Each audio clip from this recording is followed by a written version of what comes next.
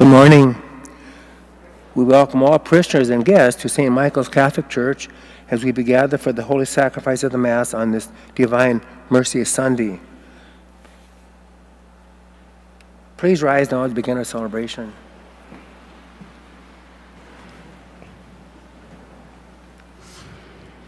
Saint Michael, angel, defend us in battle. Be our defense against the wickedness and snares of the devil. May God rebuke him, we humbly pray.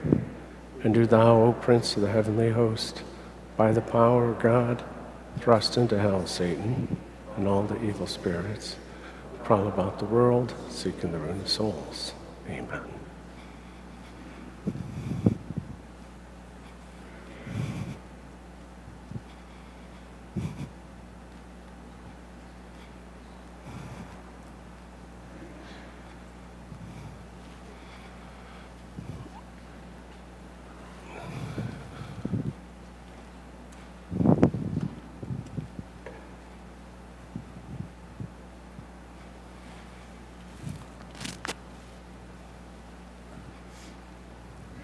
In the name of the Father, and of the Son, and of the Holy Spirit. The Lord be with you. Brothers and sisters, let us acknowledge our sins and so prepare ourselves to celebrate the sacred mysteries.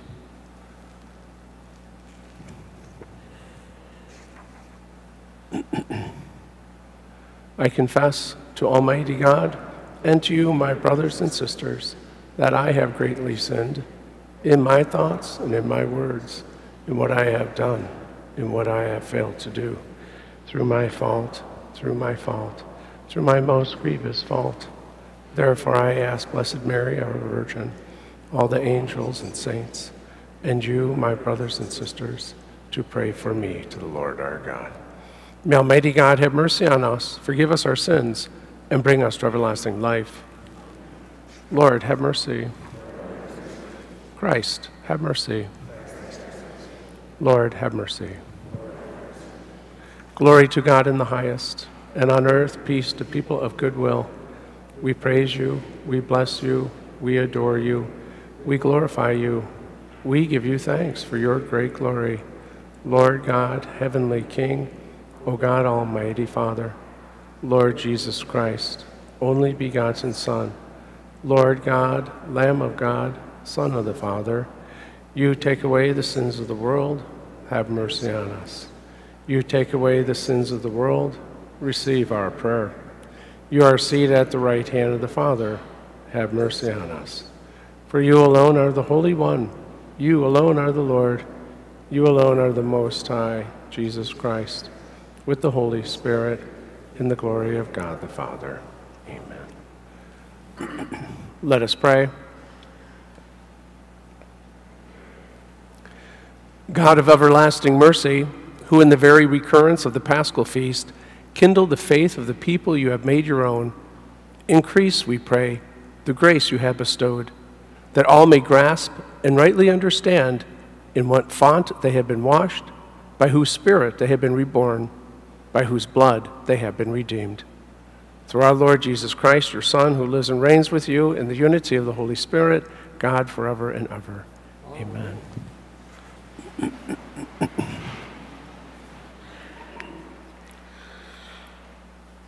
A reading from the Acts of the Apostles.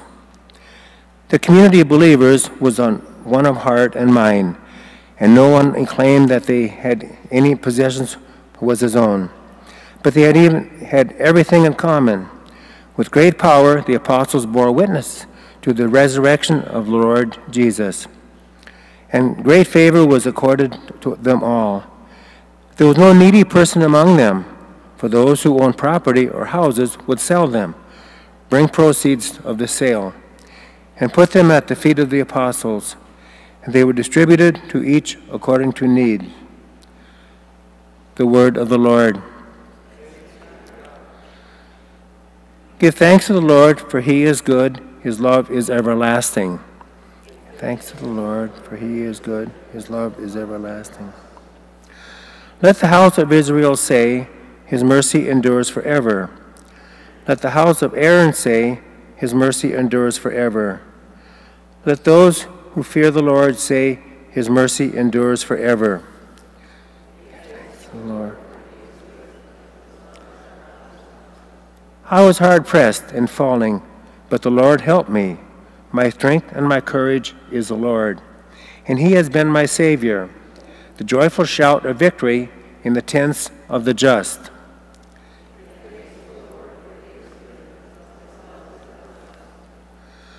The stone which the builders rejected has become the cornerstone. By the Lord has this been done. It is wonderful in our eyes. This is the day the Lord has made. Let us be glad and rejoice in it.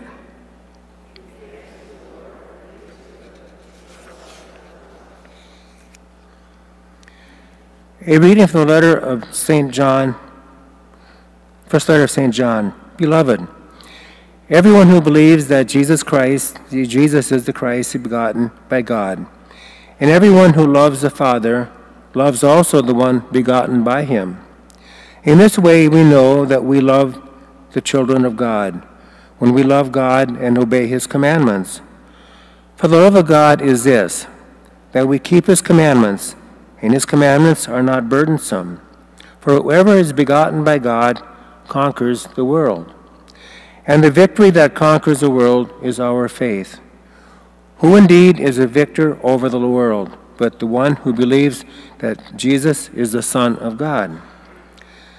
This is the one who came through water and blood, Jesus Christ. Not by water alone, but by water and blood. The Spirit is the one that testifies and the Spirit is truth. The word of the Lord.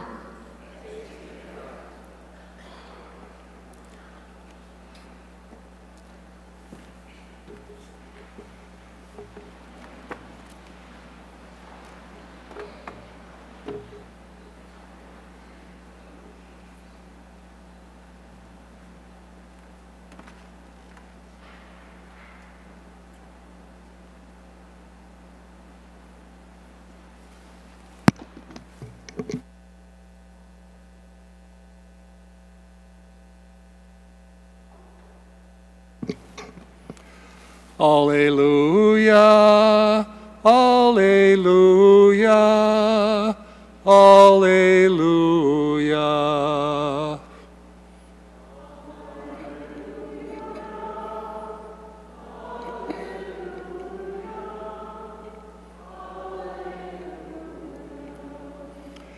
You believe in me, Thomas, because you have seen me, says the Lord. Blessed are those who have not seen me but still believe. Alleluia, Alleluia, Alleluia. The Lord be with you. A reading from the Holy Gospel according to John. On the evening of that first week, day of the week, when the doors were locked where the disciples were, for fear of the Jews. Jesus came and stood in their midst and said to them, Peace be with you. When he had said this, he showed them his hands and his side. The disciples rejoiced when they saw the Lord. Jesus said to them again, Peace be with you. As the Father has sent me, so I send you. And when he had said this, he breathed on them and said to them, receive the Holy Spirit. Whose sins you forgive are forgiven them, and whose sins you retain are retained. Thomas, called Didymus, one of the twelve, was not with them when Jesus came. So the other disciples said to him, We have seen the Lord. But he said to them, Unless I see the mark of the nails in his hands, and put my finger into his nail marks, and put my hand into his side, I will not believe. Now, a week later, his disciples were again inside, and Thomas was with them. Jesus came, although the doors were locked, and stood in their midst and said, Peace be with you. Then he said to Thomas, Put your finger here and see my hands, and bring your hand and put it into my side, and do not be unbelieving, but believe.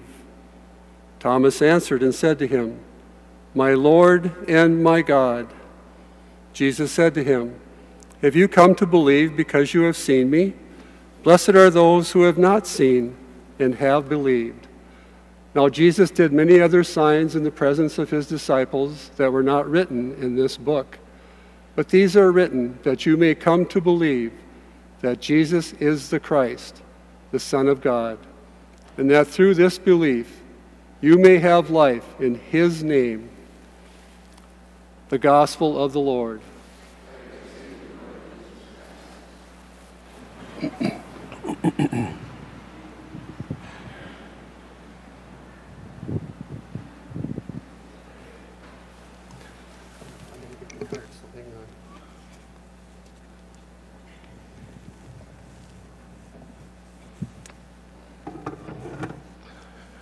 As we celebrate this uh, second Sunday of Easter, Divine Mercy Sunday, I remind you that this afternoon at 2 o'clock from 2 to 3.30 we'll have adoration of our Lord in the Blessed Sacrament. we'll have five priests here available for confessions this afternoon. And during adoration, we'll have some devotions, the Divine Mercy Chaplet, of course, and the Rosary. And you're all welcome to join us. they finish at um, 3.30 with ice cream sundaes. So, let people know in the family who are able to join us. Look forward to seeing you then. And this morning we have a video. So, throughout the diocese, we're starting. Uh, well, some parishes have already done it at the last, uh, at the end of fall and beginning of this year, the Capital Campaign Fund Drive. And uh, so we can begin ours this weekend with the video. And then next week will be our presentation from our committee members and then the third weekend will be our commitment weekend. Um, if you've already seen the video before, I hope you like it as much as I do. One of the major stars in it is myself. Yay! Um, it was a lot of fun actually when they put this together because I had no idea that I would be in this thing. They went around, they interviewed tons of priests around the diocese. You'll see Monsignor Pilon in there as well because they're interviewing uh, our retired priests, I found out, much to my surprise, there's over 30 priests who are over 60 years of age. And so that's a big part of the Capital Campaign Fund Drive is the, um, uh, to raise money for retirement home for our priests. And um, the second part of the it is for our retreat house that the sisters just gave to us last year in Valley City, uh, Maryvale as we call it. And uh, that is part of the capital campaign fund drive to uh, help to run it and to update the building. It's been, uh, I don't think there's been any changes in it since they built it uh, many, many decades ago. And I think we just figured out that while the priests don't mind having these little cells at the retreat house and having a big bathroom at the end of the hallway, they said we couldn't do that with married couples they probably wouldn't like having a common bathroom. So that's one of the things they're going to do is put in suites and so forth to make it possible for married couples to come on these retreats. Is it, uh, give me the signal on the lights. I'm, I'm not sure if it's ready yet. No. Deacon John, thank you so much for, for setting this up for us. I appreciate it. I know that whenever I touch these machines, they don't seem to work for me. And, uh, you know, we practice it before Mass. Hey, it worked. And then Mass starts and you hit the button, it's like, uh-oh. Last night we got to see a movie from Netflix. So I'm hoping we'll get the video today this time. and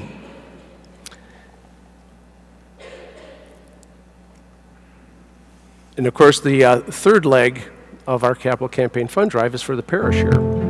So we got it going. Brothers and sisters in Christ, I want to invite you to join with me today in hearing some information about our diocesan campaign, Living Our Faith, Building Our Future.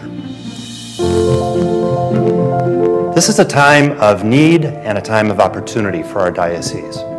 We've been given many, many gifts in our spiritual lives, in our life as a church, and we have many opportunities going forward. The campaign is an opportunity for all of us as a diocesan family to enter more deeply into the life of faith that we've been given and to work more fervently to pass that faith along to others. Priests hate raising money. It's the thing I look forward to not doing in life. But at the same time, it's one of those ways that we're able to share in the mission of the church in a different way. That's very important. To be able to look at that and say, this is what my money did, or I was able to contribute towards that. I think it's, it's very important. Uh, my dad's always planting trees. And dad was planting a tree and it was a skinny type of thing. And I'm like, Dad, why are you even planting that tree? It's going to take 30 years for you to get any shade out of it. And he looked at me and he said, I'm not planting it for me. So I invite you now to spend a few minutes with me to learn more about the different aspects of this campaign so that going forward we truly can live our faith and build our future.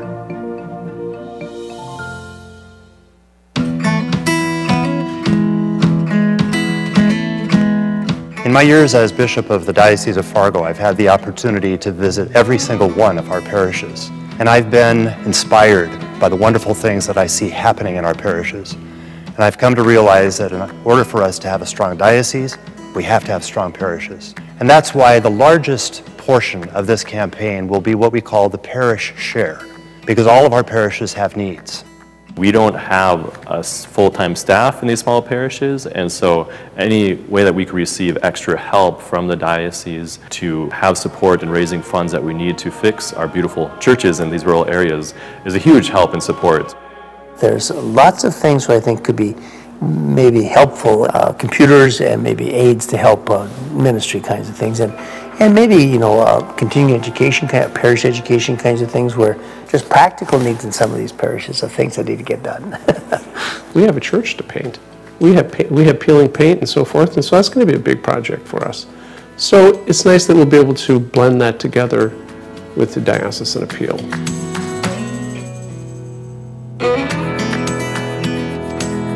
In the past year, the Diocese of Fargo received an incredible gift. The Sisters of Mary of the Presentation gave their mother house, called Maryvale, to the diocese for continued use as a retreat center. Maryvale is a beautiful facility located north of Valley City. It's a place where people over the years have gone for retreats, for times of spiritual reflection and growth, and we hope to build up Maryvale as an even greater resource for the spiritual growth and for the work of evangelization in our diocese. Our hope is that through this campaign, we can carry out some important updates to the facility and make it even more inviting to all the people of our diocese. The retreat center primarily needs renovation and repairs to the guest rooms. Many of them need to be updated and reconfigured to accommodate married couples. Things like adding restrooms and showers to each the center also needs structural adjustments and updates to the electrical, plumbing, and lighting systems, as well as replacement of existing doors, windows, kitchen appliances, and equipment. We wanted the ministry here at Maryvale to be more robust. We wanted there to be more retreats. We wanted more people to come and to experience a relationship with Jesus Christ firsthand. When I served as chaplain on search retreats, it was just amazing to see how the youth would come sort of timid, cautious, and how the retreat would change them, make them joyful, confident. For me, one of the cool things about Search was it brought so many kids from around the state together in one place, people that you didn't always know, but the one thing we always had in common was our Catholic faith. Yes, the power of endowment gives stability. Basically, we're saying this is an amount of money that we don't touch, that we use the interest from. Um, we're basically saying we're making a long-term commitment. And the sisters made a long-term commitment to us.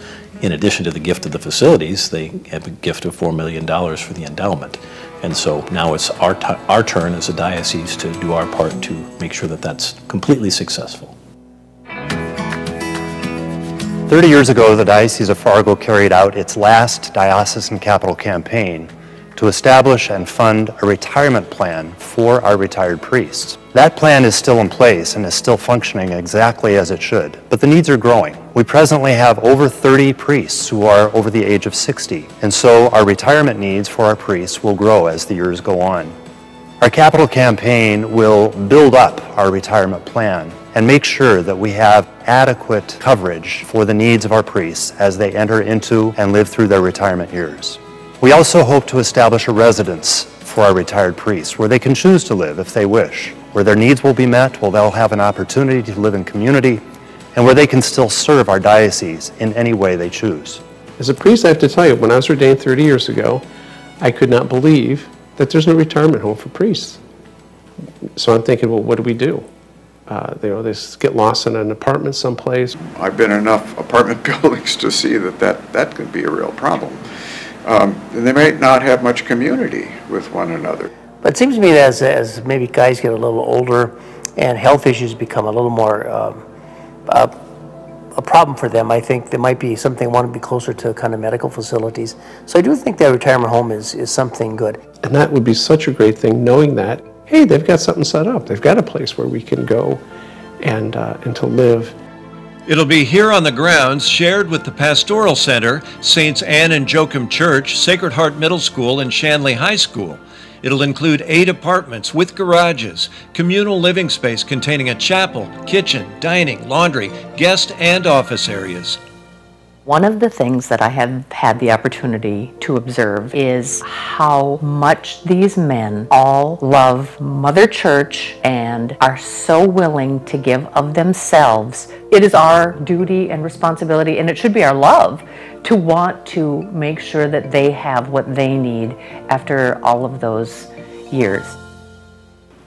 Brothers and sisters, I would invite you to join me in praying for the success of our diocesan campaign, Living Our Faith and Building Our Future. As we work together as a diocesan family to address the needs of our parishes, to address the needs of our retired priests, and to take advantage of the opportunities that we have to build our spiritual lives, every contribution that you make will make a difference. So again, please pray with me for the success of this campaign. Pray how our Lord might be asking you to participate, and let us together join in the work of our diocesan family, living our faith, building our future.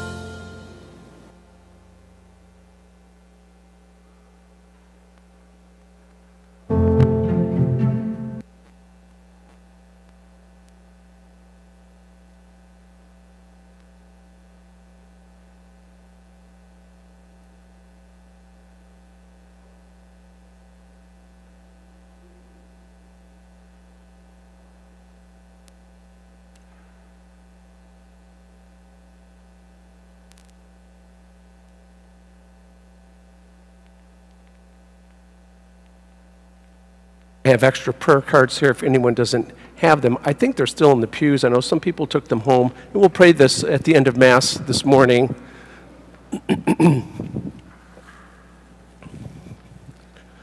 Since our video basically takes the time we would have our homily, I want to just thank you for your attention and, uh, and pray for your support for the, uh, the three main things that we're doing in this uh, capital campaign fund drive. Um, At the end of Mass, I'll invite Christine Goodwin to come up from Gui- Guidance and Giving, who's helping us uh, organize and execute this um, capital campaign fund drive, which is off to a great start already. I forget how much we've already, we're over $200,000 at St. Michael's here already. So is it a quarter of a million yet?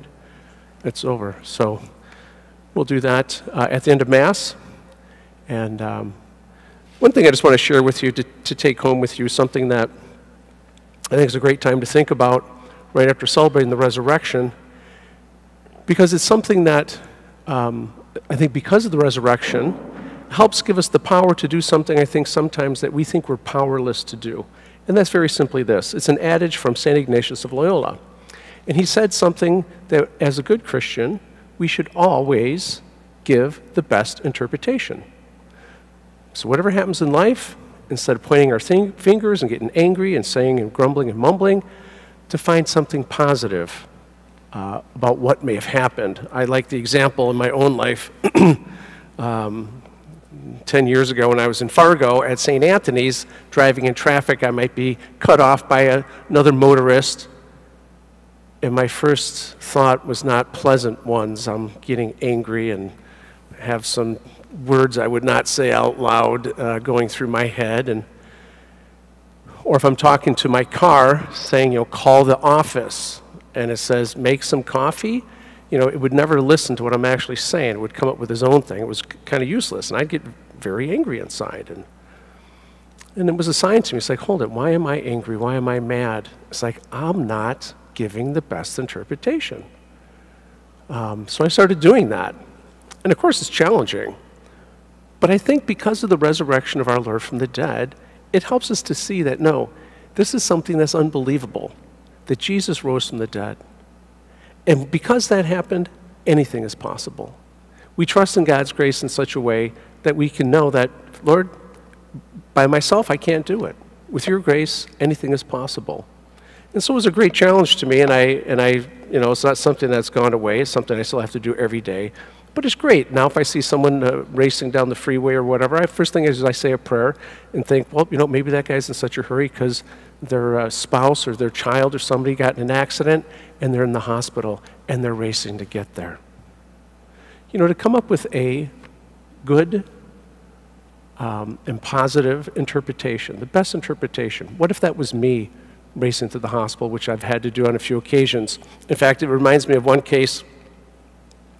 Uh, I came into confessions about 15 minutes late, and um, someone was mumbling and grumbling and lying, and you know, the darn priest wear his court right, you know, that guy's sleeping in or something, who knows, you know, and they're all angry and upset. And, and I said, well, it's a good thing you're in line for confession now because you need it.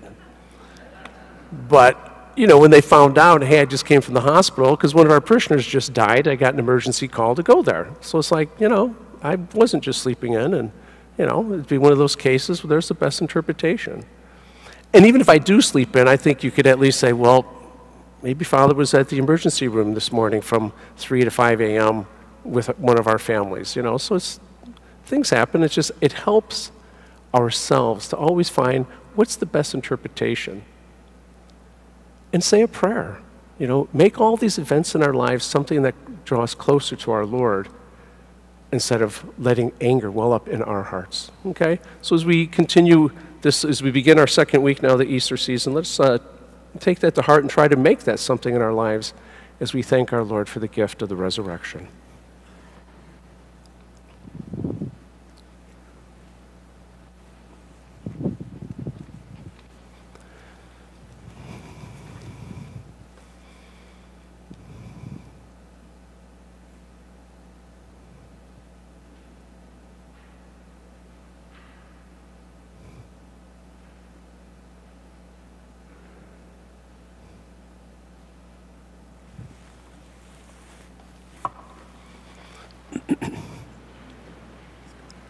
I believe in one God, the Father Almighty, maker of heaven and earth, of all things visible and invisible. I believe in one Lord Jesus Christ, the only begotten Son of God, born of the Father before all ages, God from God, light from light, true God from true God, begotten, not made, consubstantial with the Father. Through him all things were made. For us men and for our salvation, he came down from heaven and by the Holy Spirit was incarnate of the Virgin Mary and became man. For our sake, he was crucified under Pontius Pilate and rose again on the third day in accordance with the Scriptures. He ascended into heaven and is seated at the right hand of the Father. He will come again in glory to judge the living and the dead, and his kingdom will have no end. I believe in the Holy Spirit, the Lord, the giver of life, who proceeds from the Father and the Son, with the Father and the Son is adored and glorified, who has spoken through the prophets. I believe in one holy Catholic and Apostolic Church. I confess one baptism for the forgiveness of sins, and I look forward to the resurrection of the dead and the life of the world to come. Amen. And with confidence, let us offer now our prayers of petition. That the church may continue to grow in charity and faith, as she remains a sign of God's merciful love for all. We pray to the Lord. Lord, hear our prayer. That the Lord may look favorably upon and provide the resources for the needs of individuals and communities. We pray to the Lord. Lord, hear our prayer.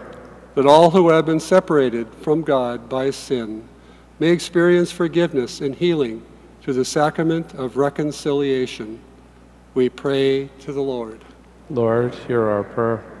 That all of us gathered here may be guided by the Holy Spirit in our work to build up the kingdom of God on earth by our words and actions. We pray to the Lord. Lord, hear our prayer. we pray for the Third Synod of the Diocese of Fargo. May the Holy Spirit inspire our prayer, preparation, and discussions, and bless the Church in our diocese with the outpouring of His graces. We pray to the Lord. Lord, hear our prayer. For all of our beloved dead, especially Vern Dondino, Marvin Burris, and Randy Farmer, as well as George, Sophie, and Cy Wasaki, for whom this Mass is offered. May these and all who have died rejoice forever with all the saints in heaven. We pray to the Lord. Lord, hear our prayer. For the prayers in the book of our intentions and for those that we now offer in the silence of our hearts, we pray to the Lord. Lord, hear our prayer. O God, in whom we live and move and have our very being, grant us every petition we ask for in faith through Christ our Lord.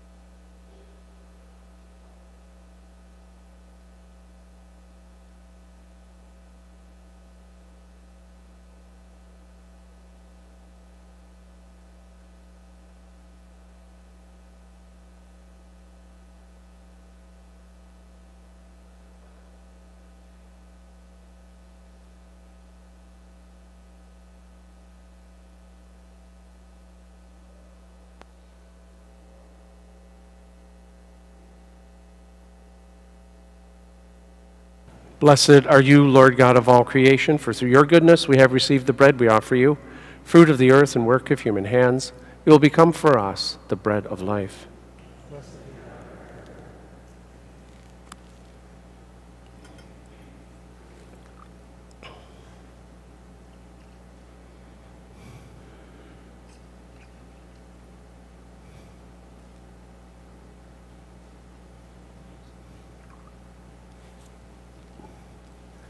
Blessed are you, Lord God of all creation, for through your goodness we have received the wine we offer you, fruit of the vine and work of human hands. It will become our spiritual drink. Blessed be God forever. Lord God, we yes, we please with the sacrifice of our own and contrite hearts. O Lord, wash away my iniquities, cleanse me from my sins.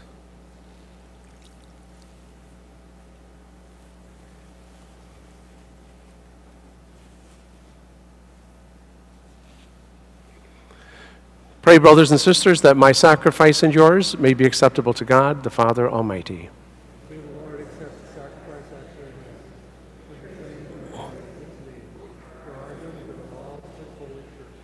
Accept, O Lord, we pray, the oblations of your people, that renewed by confession of your name and by baptism, they may attain unending happiness through Christ our Lord.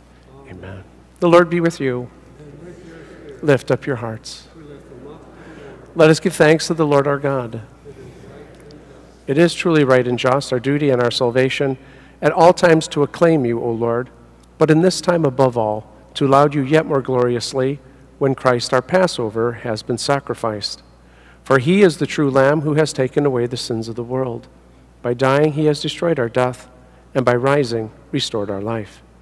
Therefore, overcome with paschal joy, every land, every people exalts in your praise, and even the heavenly powers with the angelic hosts sing together the unending hymn of your glory as they acclaim Holy, holy, holy Lord, God of hosts, heaven and earth are full of your glory.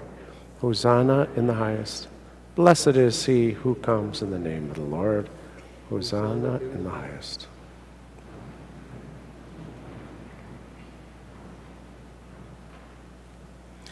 You are indeed holy, O Lord, the fount of all holiness. Make holy, therefore, these gifts, we pray, by sending down your Spirit upon them, like become for us the body and blood of our Lord Jesus Christ. At the time he was betrayed and entered willingly into his passion, he took bread, and giving thanks, broke it, and gave it to his disciples, saying, Take this, all of you, and eat of it, for this is my body which will be given up for you.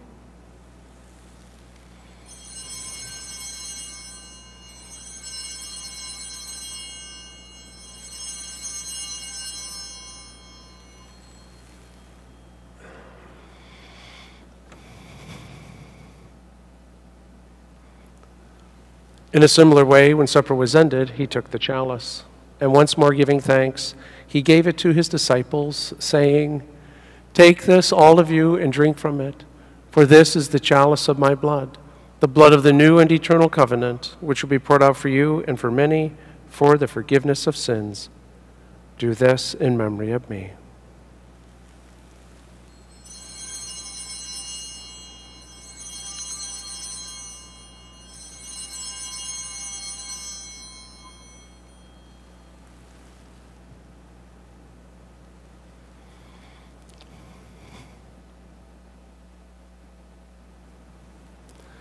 The mystery of faith.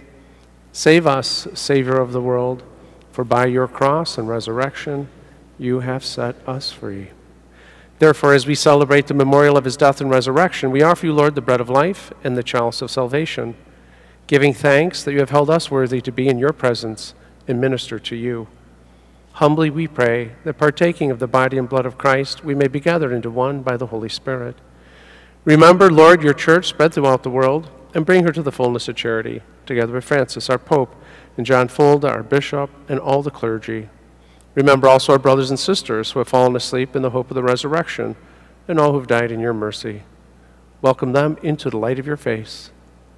Have mercy on us all, we pray, that with the Blessed Virgin Mary, Mother of God, with Blessed Joseph, her spouse, with the blessed apostles, and all the saints who have pleased you throughout the ages, we may merit to be co heirs to eternal life and may praise and glorify you through your Son, Jesus Christ. Through him and with him and in him, O God Almighty Father, in the unity of the Holy Spirit, all glory and honor is yours forever and ever.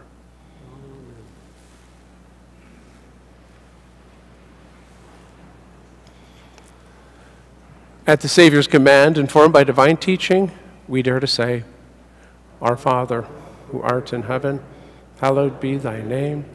Thy kingdom come, thy will be done, on earth as it is in heaven.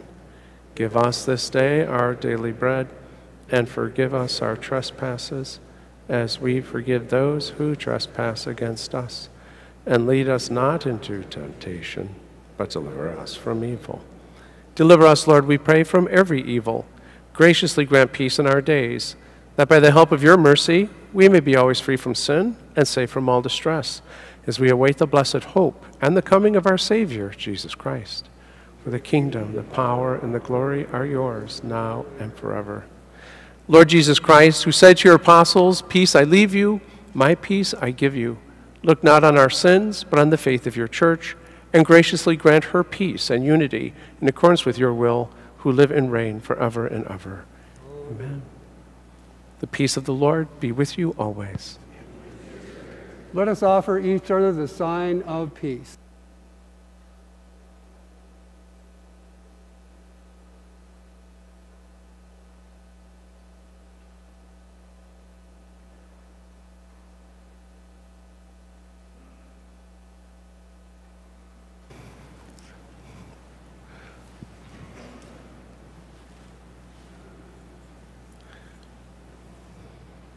Lamb of God, you take away the sins of the world. Have mercy on us. Lamb of God, you take away the sins of the world. Have mercy on us. Lamb of God, you take away the sins of the world. Grant us peace. Me of your teachings, and never let me be parted from you. Behold the Lamb of God. Behold him who takes away the sins of the world. Blessed are those called to the supper of the Lamb. O Lord, I am not worthy that you should enter under my roof, but only say the word, and my soul shall be healed. Corpus Christi custodiat me vitam aeternam.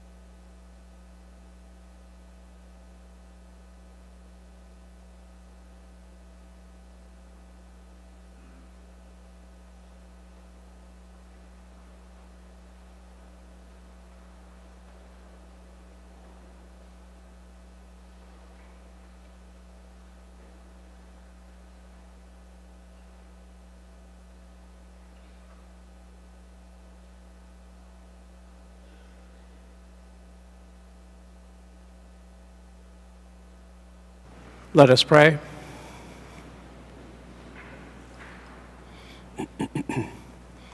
Grant, we pray, Almighty God, that our reception of this Paschal Sacrament may have a continuing effect in our minds and hearts through Christ our Lord.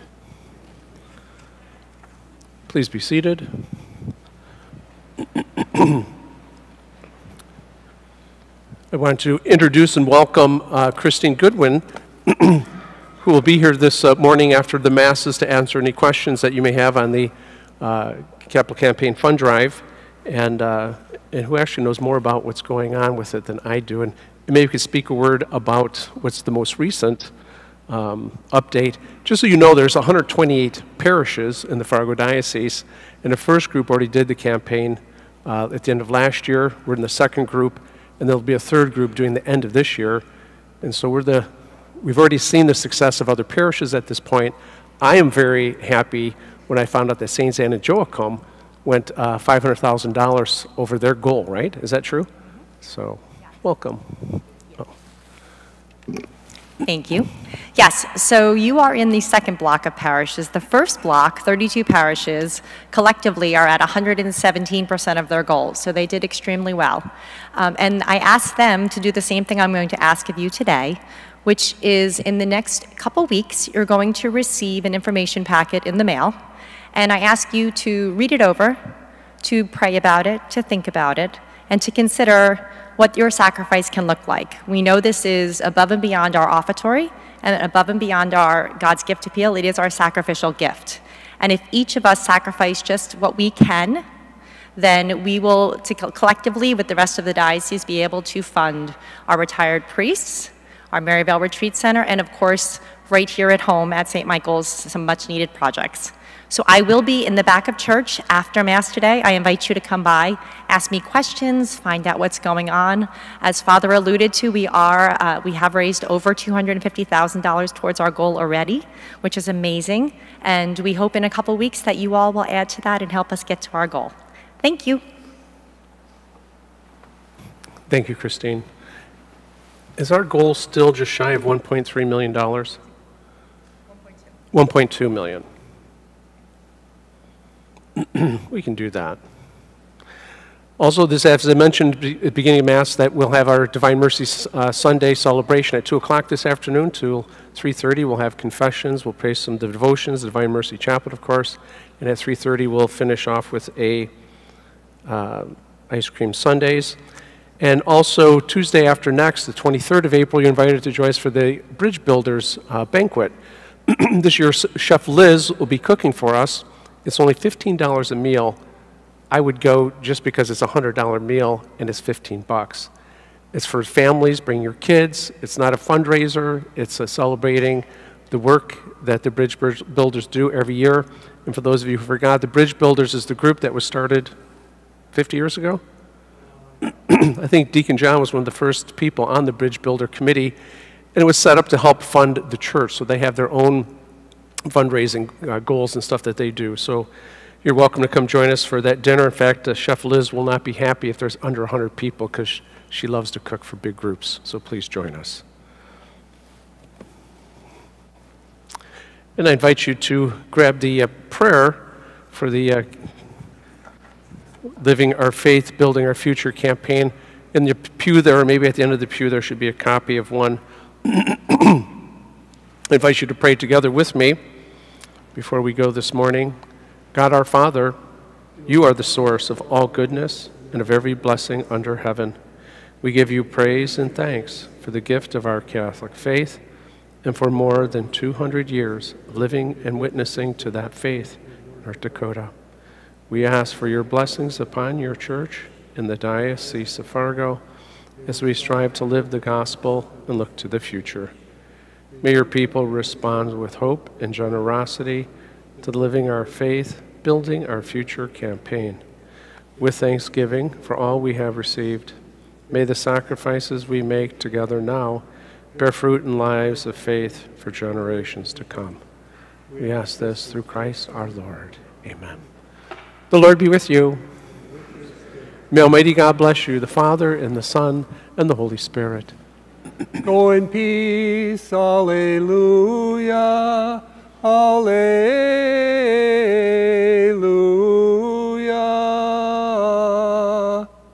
Thanks be to God. Alleluia.